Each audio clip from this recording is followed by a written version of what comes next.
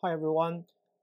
Um, if you remember, there was a time when we did the uh, ferrite series where we had an episode focusing on the subject of multi-turn ferrite core. And uh, one of the viewers, uh, I guess his name must be Greg, said, um, really interesting, how about a multi-turn ferrite followed by another uh, ferrite, I guess, yeah, another ferrite with a single turn. So he's interested in if we have a combination of both, what would be the impact and you know what lessons can we draw if we know the impedance curve. So I thought, okay, let us do an interesting case study to see the impact. So here we are, and uh, in this episode, we are going to uh, explore the concepts of multi-turn, single-turn, and why do we need to care or why do we need to take this into consideration when designing a system or product. Let's have a look at the test setup. Right. Okay. Yeah. So we want to demonstrate this concept by using an ESD gun. We have our um, oscilloscope 1.5 gigahertz to capture the ESD event. And you can see this is really a simple, simple demonstration. This is just a metal case. And we have, let me just remove this uh, ferrite first, and you can see, um, yeah, we have, uh, again, our uh, current probe. This one has a bandwidth up to about 800, 900 megahertz. Then we use a 20 dB attenuator because this current probe has 20 dB ohm impedance. Uh, therefore, if I had a 20 dB attenuator, that gives me 0 dB ohm in terms of the um, impedance of the current probe. Therefore, whatever voltage I measured using the um, oscilloscope, it will be my current reading. Okay, so that's easy. So basically, I have a RF current probe measuring RF current, um, you know, on this wire. So you can see this is just a uh, normal wire. You know, we have a uh, metal connection here, and the other end is connecting to this uh, metal case. So this metal case represents a product which has a lower impedance uh, at the um, cable connection end, and you can see this this cable is just connected to the uh, metal housing via uh, the crocodile clip. Okay, so the idea is very simple. I'm going to inject a ESD right, an ESD noise or ESD transient event on this end at this end of the wire, and uh, we're gonna compare, right, a multi-turn ferrite core, let's say five turns of using a a, a, a ferrite core, then compared this result with multiple single turn ferrite, and then see the difference, and then draw some conclusions. Okay, so before we do that, let's have a quick look at, without any ferrite, what the current uh, looks like when we inject an ESD pulse.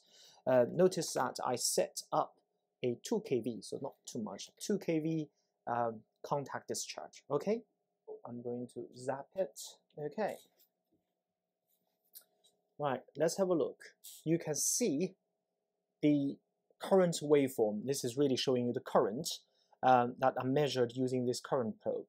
So you can see that, as usual, the ESD event is a good example because it has a very sharp rise.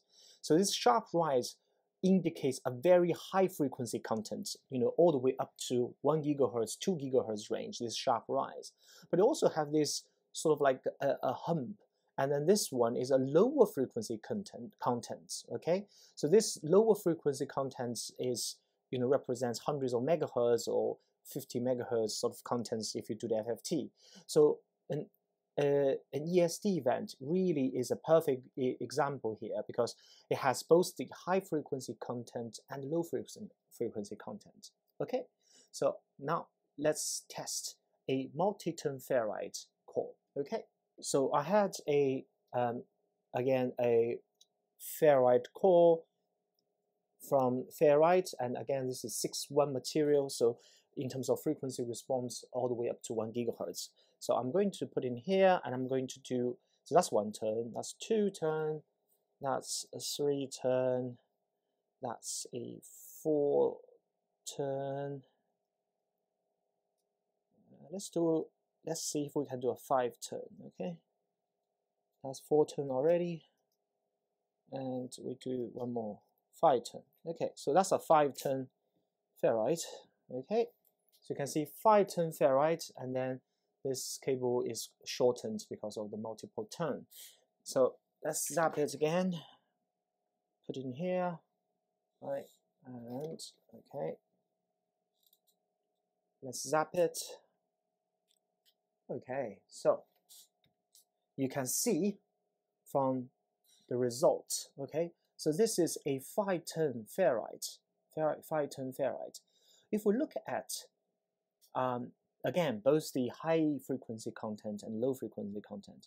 So you remember now the low frequency content, the peak of this uh, hump, resonance hump, is about 2 amps because we said right now it is 1 amps per division. So the peak is roughly 2 divisions, so that's 2 amps. And the higher frequency content, we're seeing lots of resonance, okay? And then the peak is about 3 amps, right? That's the higher frequency content. We're seeing lots of resonance here. Okay, right, right. Let's have a look at what if we have five single turns, five single turn um, ferrites, all using the same material, 61 material, and see the impact compared to, to this. Again, I can leave this because this is a 6-1 material. I leave this core here, and all I need to do is to put, because we did a 5-turn ferrite core, right? Um, so now I have five one turn, all single turn, exactly the same material, right? So I have four of these smaller uh, diameter size and plus this is relatively big one. And I'm going to zap it again to see to see the diff uh, to see the impact, right? Okay, so let's have a look. Put in there, zap it. Okay, now let's have a look. This is the result of five single-turn ferrite core. Notice that the lower frequency content, lower frequency content, previously we had about peak about 2 amps maximum, actually less than 2 amps, but now this is 1, 2, 3, 3 amps. So in terms of lower frequency performance, this is worse. However, however, if you look at higher frequency content, which is really this bit, it is really, uh, you know, uh, lower now. So it's about one amps. And in terms of the resonance, it, it is actually less resonant compared to the previous case. So why is that the case? Well, we explained, right, in the previous episodes that if you have a multi-turn ferrite core, you introduce inter, you know, turn-to-turn capacitance, interwinding capacitance and that basically is your capacitance. Then, you know, you naturally form a resonance tank circuit. And the more turns you have, for example, in the previous case we have five turn, then the more capacitance you have. Therefore, when you were using a five turn core to do an ESD um, block, for example, you would have a higher, or you would have resonance circuit, in particularly in a higher frequency range. And also we know that this interwinding capacitance basically bypass all the high frequency contents.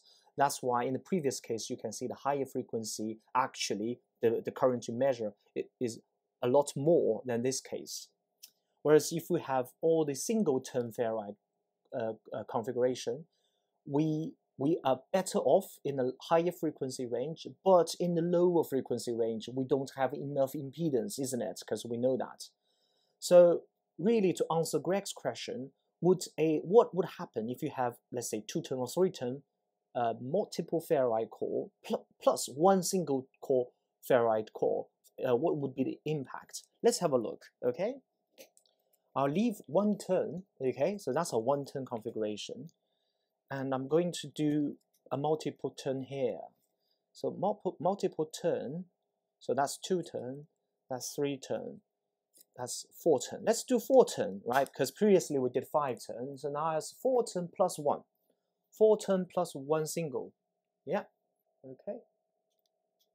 Ah, okay, catch the results here.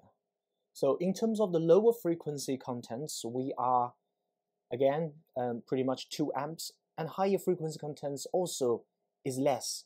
So having a combination of multiple turn ferrite and a single turn ferrite actually gives the best result for a transient event such as an ESD. Okay, so I hope you enjoy this episode, and this is really a practical um, case study of uh, multi multiple turn ferrite core compared with single turn ferrite core. So I hope you enjoyed it and let us know your thoughts.